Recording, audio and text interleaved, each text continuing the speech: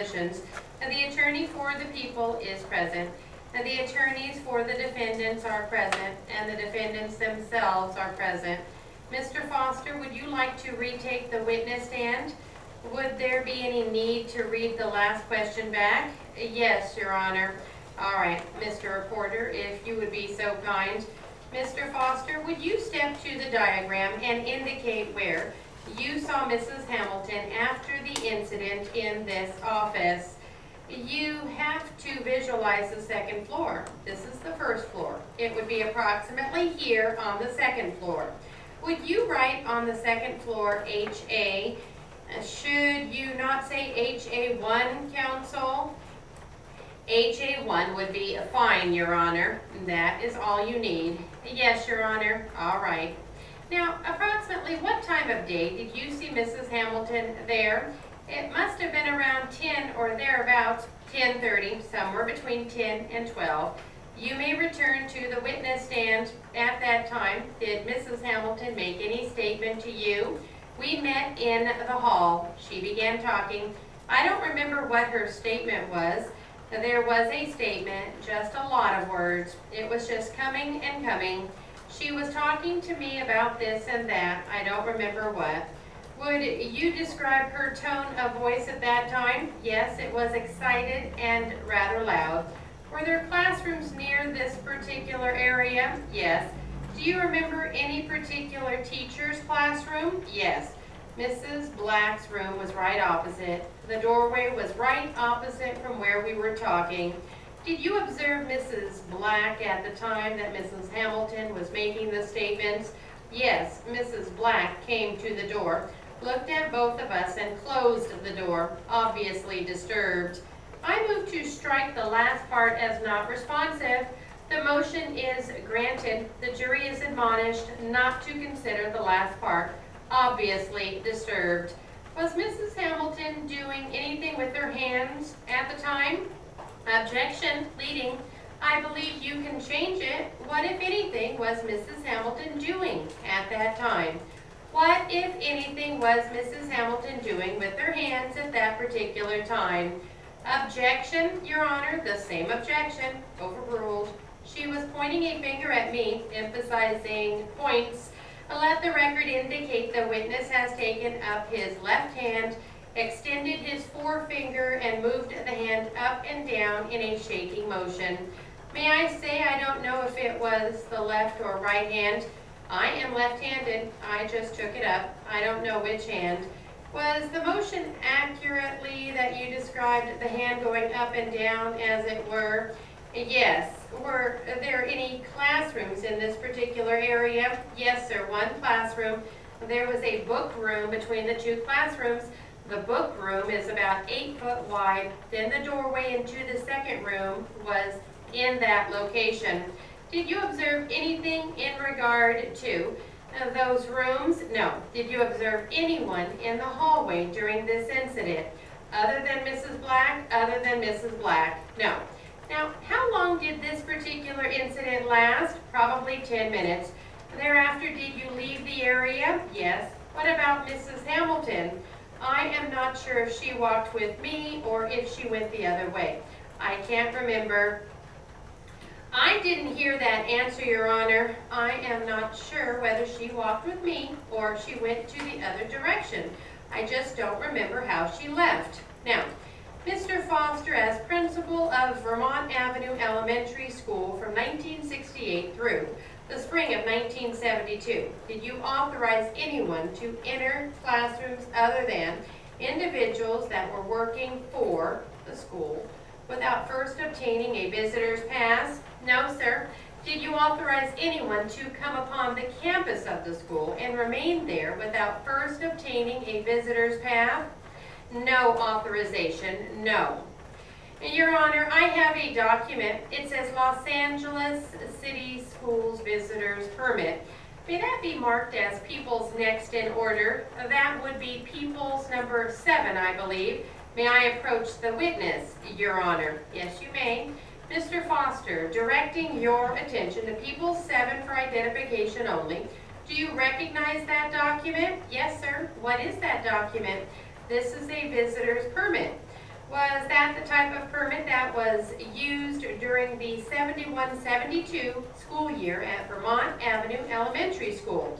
Yes, is this the type of permit that was required in order to visit a schoolroom? Yes, sir. Where was one to obtain that, this particular type of permit? In the administration office. Could one obtain that permit anywhere else at the school? No. May I approach the witness, Your Honor? Yes, you may. Does this permit contain several instructions? Yes, sir. Were those instructions on the permits that were issued during the school year of 71, 72 at Vermont Avenue Elementary School? Objection, Your Honor. There is no foundation that this witness examined each and every visitor's permit. It is overruled. Would you repeat that, please? Yes. Were those instructions contained on the permits that were issued during the school year of 71, 72 at Vermont Avenue Elementary School? Yes, sir. Would you read those instructions from the permit? Please observe the following regulations. One, enter and leave the classroom as quietly as possible. Two, do not converse with the teacher during class time. Three, you are requested to limit your visit to 20 minutes. Four, if you wish to confer with the teacher, please arrange for a conference. Were there special times set for conferences? There are special times in schools for conferences, a half hour before school starts or a half hour after the class leaves. However, a parent can get in touch with the teacher and arrange a conference during her recess time. For instance, if the teacher wishes to give up her recess time, that would be an emergency though. If a parent wanted to arrange for a special counseling, would the parent have to arrange that through the administration office or directly with the teacher? She would talk with the teacher, but it has to come through the office that the counseling is being held. The teacher would talk with her anyway, either by mail or in person. You have to remember that these parents work. However, she can contact the teacher and the parent can arrange a conference with my knowledge. In order to have a conference, did you have to authorize the conference? Yes, sir.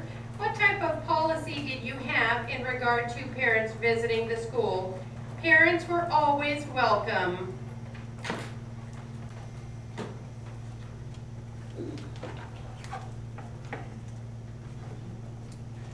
Mr. Foster, would you step to the diagram and indicate where you saw Mrs. Hamilton after the incident in the office?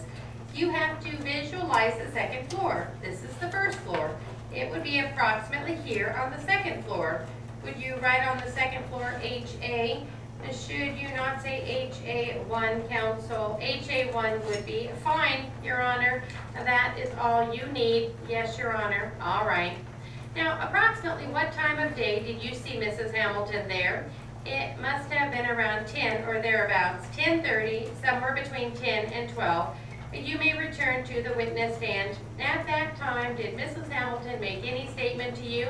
We met in the hall. She began talking. I don't remember what her statement was, but there was a statement, just a lot of words. It was just coming and coming. And she was talking to me about this and that. I don't remember what. Would you describe her tone of voice at that time? Yes, it was excited and rather loud. Were there classrooms near this particular area? Yes. Do you remember any particular teacher's classroom? Yes. Mrs. Black's room was right opposite. The doorway was right opposite from where we were talking. Did you observe Mrs. Black at the time that Mrs. Hamilton was making the statements? Yes, Mrs. Black came to the door looked at both of us and closed the door, obviously disturbed. I move to strike the last part as not responsive. The motion is granted. The jury is admonished not to consider the last part obviously disturbed.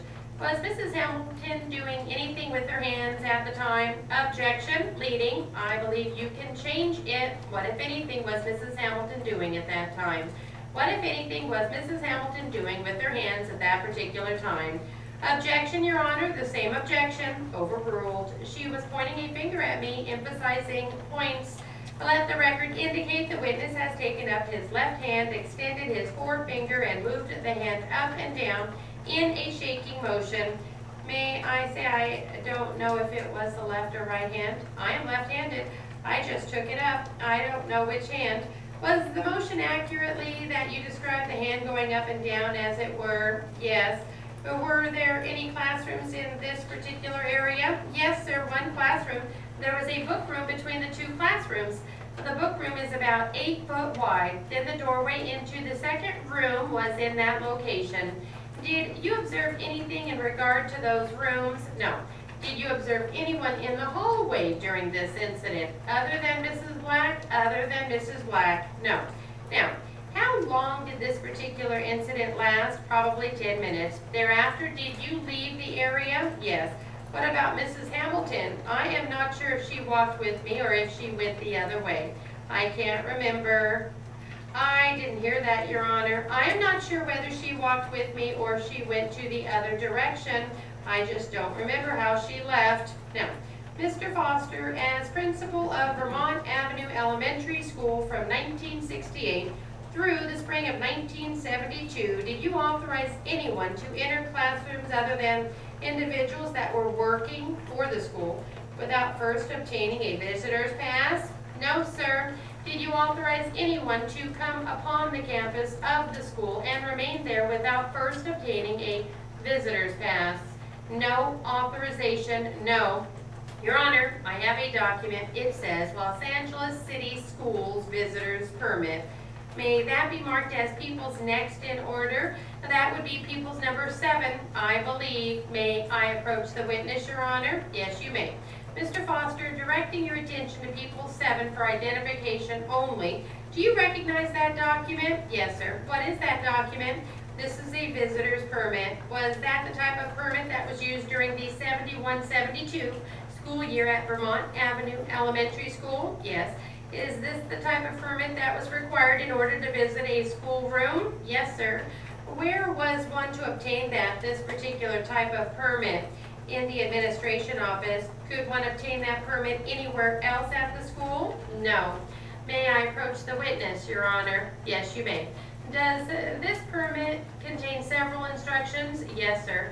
Were those instructions on the permits that were issued during the school year of 71, 72 at Vermont Avenue Elementary School? Objection, Your Honor, there is no foundation that this witness examined each and every visitor's permit.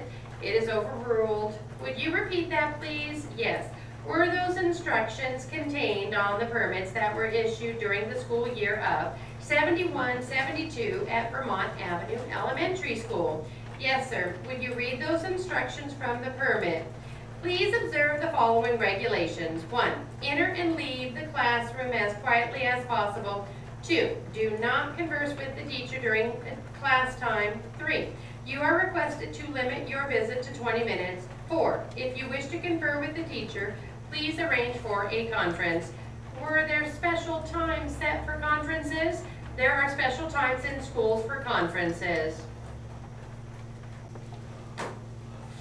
Last time, Starts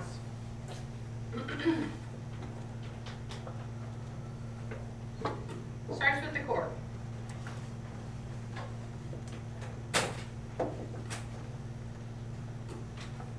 Good morning, ladies and gentlemen. Let the record show you are back in your respective positions. The attorney for the people is present. And the attorneys for the defendants are present, and the defendants themselves are present. Mr. Foster, would you like to retake the witness stand? Would there be any need to read the last question back? Yes, Your Honor. All right, Mr. Reporter, if you would be so kind. Mr. Foster, would you step to the diagram and indicate where you saw Mrs. Hamilton after the incident in the office? You have to visualize the second floor. This is the first floor. It would be approximately here on the second floor. Would you write on the second floor HA? And should you not say HA1 counsel? HA1 would be fine, Your Honor. Now that is all you need. Yes, Your Honor. All right. Now, approximately what time of day did you see Mrs. Hamilton there? It must have been around 10 or thereabouts, 10.30, somewhere between 10 and 12. You may return to the witness stand. At that time, did Mrs. Hamilton make any statement to you? We met in the hall. She began talking. I don't remember what her statement was. There was a statement, just a lot of words. It was just coming and coming. She was talking to me about this and that. I don't remember what. Would you describe her tone of voice at that time? Yes, it was excited and rather loud. Were there classrooms near this particular area? Yes. Do you remember any particular teacher's classroom? Yes, Mrs. Black's room was right opposite the doorway, was right opposite from where we were talking. Did you observe Mrs. Black at the time that Mrs. Hamilton was making the statements? Yes, Mrs. Black came to the door, looked at both of us and closed the door, obviously disturbed. I move to strike the last part as not responsive. The motion is granted. The jury is admonished not to consider the last part obviously disturbed. Was Mrs. Hamilton doing anything with her hands at the time? Objection, leading. I believe you can change it. What, if anything, was Mrs. Hamilton doing at that time? What, if anything, was Mrs. Hamilton doing with her hands at that particular time? Objection, Your Honor, the same objection, overruled, was, she was pointing a finger at me, emphasizing points. Let the record indicate the witness has taken up his left hand, extended his forefinger, and moved the hand up and down in a shaking motion. May I say I don't know if it was the left or right hand? I am left-handed. I just took it up. I don't know which hand. Was the motion accurately that you described the hand going up and down as it were? Yes. But were there any classrooms in this particular area? Yes, sir, one classroom.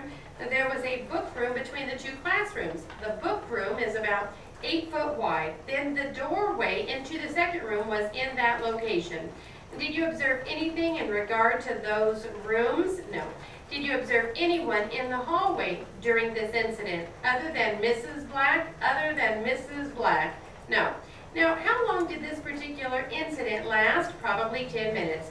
Thereafter, did you leave the area? Yes. How about Mrs. Hamilton? I am not sure if she walked with me or if she went the other way. I can't remember. I didn't hear that answer, Your Honor. I am not sure whether she walked with me or she went to the other direction. I just don't remember how she left.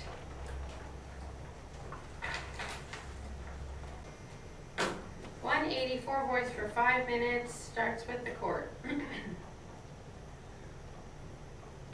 Raise your right hand, please. You do solemnly swear that the testimony you may give in the cause now pending before this court shall be the truth, the whole truth, and nothing but the truth. So help you God. I do. State your full name for the record, spelling your last name, Efram Gonzalez, E-F-R-A-M, G-O-N-Z-A-L-E-Z. Now, sir, I direct your attention to the 22nd day of September of last year. Now, on that day, uh, what was your permanent residence at that time? It was 2947 Linwood Road in Visalia, California. On the 22nd of September, starting out in the morning of uh, that day, where were you then? I was in Norwalk on Algardi Street at Stephen Ayala's house. Is that a female or male? And so you were in the Los Angeles County area on that particular day, sir? Yes, I was. On that day, did you see anyone who has, whose name has come up in court in this case? Yes, I have. Who was the first person that you saw who has been mentioned in this case? Johnny and Marilyn. I haven't seen her, but her name was mentioned. And Felix and his girlfriend, I believe her name is Lucy. You mean Felix? Right, uh-huh. Did you see them for the first time, all at the same time together? Excuse me, I'm sorry. I don't believe it was his girlfriend. It was Johnny's cousin. I don't know her name. I just... When was it that you saw these people for the first time on the 22nd? It was approximately about 4.30, between 4.30 and 5.15, I imagine, something like that. In the afternoon? Yes, uh-huh. Had you come to see them or they come to see you or how was it that you happened to meet them? I had just come back from the beach with my little girl and my girlfriend and I was parked there and I was outside cleaning my car and I got in and I was leaving, I was going to the store, I believe, and I saw Marilyn was driving a 69 green Impala, which uh, later I believe was Ronnie's car. I found out it was his car. Now they invited me over to his residence later on that night to go over later on that night. this was just a chance meeting then? Yes. At that time, which one of these persons did you already know? I knew Marilyn and Johnny. Did you know Felix? No, I didn't. You state that you were in your car? Yes, I was. Is that the white Cadillac that has been referred to in the evidence in this case? Yes, uh-huh. So then later on that day, did you go over to Johnny's house? Yes, I did. Uh-huh. Is that someplace in Whittier? Is that correct? Yes, it's in Whittier. When you went there, did anybody go with you? No, I went by myself. Who all was there at Johnny's house when you arrived? Ronnie was there and Raymond was there. Marilyn, Johnny, Felix. I believe there were two other girls there. I don't remember their names though. How many of the people who were there did you actually know from prior acquaintance, Johnny and Marilyn? What kind of a gathering was this, social or for what? Well, earlier that day, I had known that Johnny was in the hospital because he had had prior operations on his leg, and he asked me if I he had gotten out, and from what I understand, they were supposed to amputate his leg because it was pretty bad. So he had recovered, I guess, or something, and had been in the hospital for about a week. So he said he was going to have just a little gathering, you know, to just celebrate that they didn't cut off his leg, I guess. Was there a party going on there? Well, I wouldn't call it a party. It was a little social gathering, I guess you would call it. Were refreshments going around? Yes, there was. What were people drinking? Well, I had purchased a bottle of wine before I went over there. I believe it was Strawberry Hill I had taken, and there was beer there, and that was all the liquor that I saw. What time was it that you say you arrived there, if you recall? It must have been about, I guess, 8.30, close to 9 o'clock, something like that. At the time you arrived at that gathering, were you acquainted with uh, Lisa Harmon? No, sir, I wasn't. Were you acquainted at that time with Virginia? No, I wasn't. Did you know where they lived up there in Pico Rivera? No, I didn't, sir. Prior to that day, had you ever been to that address on Walnut that has been referred to in the testimony? No, I hadn't. Had you ever seen Mona before? No, sir, I hadn't. So that night was the first time you had ever met her? Yes, sir. How about Virginia? Had you ever met her before? No, sir, I hadn't. Did you know who she was? No, sir, I didn't. Well, let me ask you this. Had you ever heard of Felix Ayala before you met him that day? No, sir, I didn't. Had you ever seen him before? Earlier that day I did, but I mean before the 22nd of September. To your knowledge, no, sir. Had you ever seen Felix before? No. How about Raymond? Did you know him before the 22nd of September? No, I didn't, sir. Is it correct to say then you met Raymond for the first time when you went to Johnny's house that evening? Yes, sir. Did you strike up an acquaintance with Raymond when you were there at Johnny's? Yes.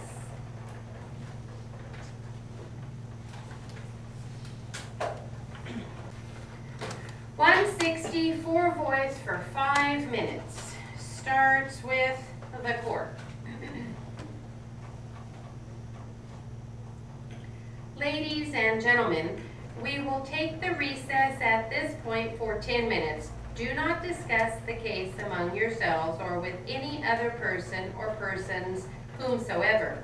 Form no opinions as to the guilt or innocence of the accused parties until the matter is finally submitted to you for decision. Court stands in recess for 10 minutes. The court will resume the matter of the people versus Ayala and Gonzalez. The defendants are present with their respective counsel. The district attorney is present. The jurors are present and in their respective locations. Sir, return to the witness stand. At this time, you are still under the oath of a witness. The court just has a couple of additional questions I wish to ask of you at this point. Why did you go to Visalia? That's where I was living, sir, my home. That is your home? Yes, sir. How long had you been here in this county from Visalia before this incident occurred when he was shot? How long have I lived here? Well, no. how long have you been here in the county from Visalia, if it was your home? How long had you been in LA County before Ramon got shot? About, well, it was, let's see, about a day and a half. And then you went to your house in Visalia? Yes, sir. Did you ever communicate with anybody in Visalia the fact that you had been a witness, a partial witness to some proceeding down here such as went on before you were arrested? That is, yes, sir, I did.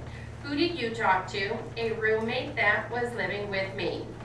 Mr. Aide, you may proceed. Uh, Sir, I have a document here. May this be marked Defendant Gonzalez is A, or, well, it will be marked as Defendant's Exhibit C. It's entitled License Temporary, typed on it, is the name Joseph Gonzalez. I show this to you. Do you recognize that document? Yes, sir. Now, it has a date stamped on it of September 11, 1974, doesn't it? Yes, sir. What document is that? Temporary license. Whose is it? Mine. Does it have your address on it? Yes, sir. What is that address that is typed on it? 2943 Linwood. What city? Visalia, California. When did you get that license? September of last year? Yes, sir. May I see it, counsel? Yes. On the 23rd of September, do you know where that license was? Yes, sir. Where? It was in my wallet in the trunk of my car. When you left the car there at the restaurant, did you leave your wallet there? Yes, sir. As far as you know, was it then recovered by the police who recovered your car there? I imagine so. I want to go back to what happened that night on the 23rd. You say that you took off in the car and came to Olympic. Is that right? Yes, sir. And you testified that you came to where Olympic comes to Rosemead. Is that correct? I believe it is, yes. And there's a stop sign there. I remember seeing a stop sign there. You do? I do remember seeing a stop sign because I stopped. I had to stop. And you testified that you knew at that point where the hospital was. Yes, sir, I did. South on Rosemead, is that right? Yes. But you stood there for a while and didn't drive away. Is that correct? Yes, I stood there about, I guess, a minute or two. I don't recall exactly how long it was. You didn't drive down Rosemead towards the hospital, did you? No, sir, I didn't. Exactly where did you drive to after that? Well, I don't remember the street or anything. I just, I remember just driving straight across. I guess it would be Olympic. I drove in and at this point I was going to take Raymond out of my car. Did you do that just then? No, sir, I didn't. Why not? Well, when I drove in, I remember my car is pretty long and it's a small little drive.